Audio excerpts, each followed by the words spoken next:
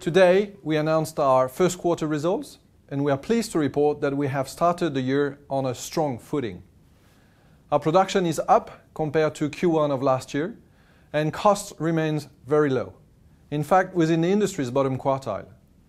This strong operating performance positions us well to meet guidance again this year, which would mark the 10th year in a row. Given our high margins, we continue to generate significant free cash flow during the quarter, which has further improved our net cash position. This places us in a very strong position to continue to deliver significant shareholder returns and fund our growth. During the quarter, we paid our $70 million dividend, and we completed over $30 million worth of share buybacks. This means that since early last year, we've paid out a total of 369 million in shareholder returns. That was 200 million of dividends on one side and $169 million of buybacks on the other side. We are very excited about our growth prospects with the expansion of Sabodala-Massawa on the way.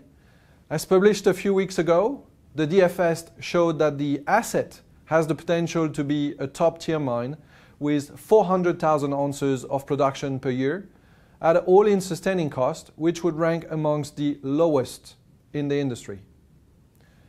In addition, we are working on the DFS for the Lafigué deposit at Fetekro in Côte d'Ivoire, and our exploration team is making good progress towards our five-year discovery target of 15 to 20 million ounces. So as you can see, we're pleased with how we have started the year, and we look forward to continuing to deliver on our strategy, which we expect will ultimately result in greater rewards for all our stakeholders. We believe that Endeavour offers an attractive investment proposition given our strong cash flow generation, healthy balance sheet, robust growth pipeline, and attractive valuation.